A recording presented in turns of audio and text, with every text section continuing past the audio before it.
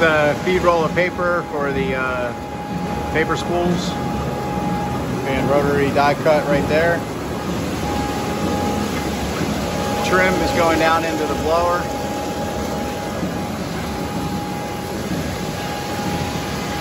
And all the spools spooling up. Still working out a lot of kinks.